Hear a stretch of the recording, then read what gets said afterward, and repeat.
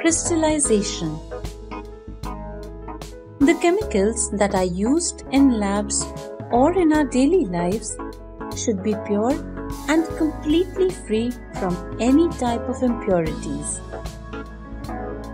Depending upon the nature of impurities, different techniques of separation are used to get a pure component such as filtration, evaporation, decantation, distillation and crystallization. Crystallization is one of the most important techniques used to purify solids. In this module, we will learn about what is crystallization, how can we obtain pure copper sulfate from an impure sample. Crystallization is a process that separates a pure solid in the form of its crystals from a solution.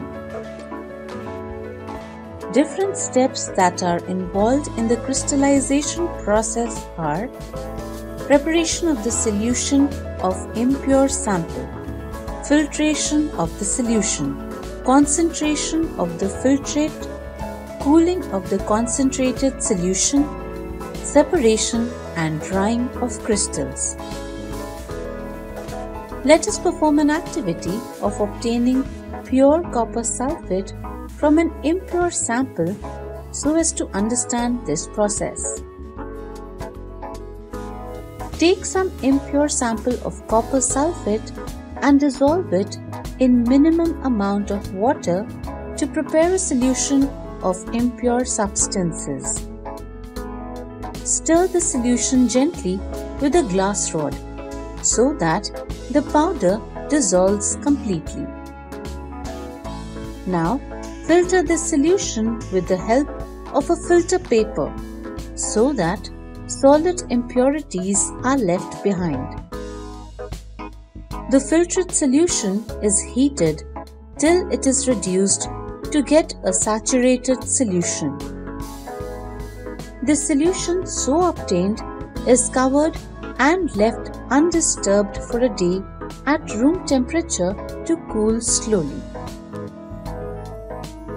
As the solution cools, deep blue crystals of copper sulfate are observed. Decant the mother liquor carefully in a beaker to separate the pure crystals. This overall process is called crystallization. This technique is better than simple evaporation technique. As there are some solids that decompose or some like sugar may get charred on heating to dryness. Also, some impurities may remain dissolved in the solution even after filtration. On evaporation, these contaminate the solid. Now, let us recapitulate what we have discussed in this module. Steps of crystallization process.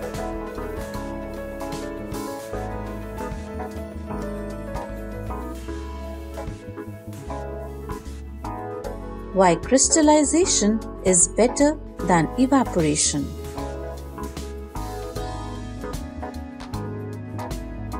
Let's practice some of the questions.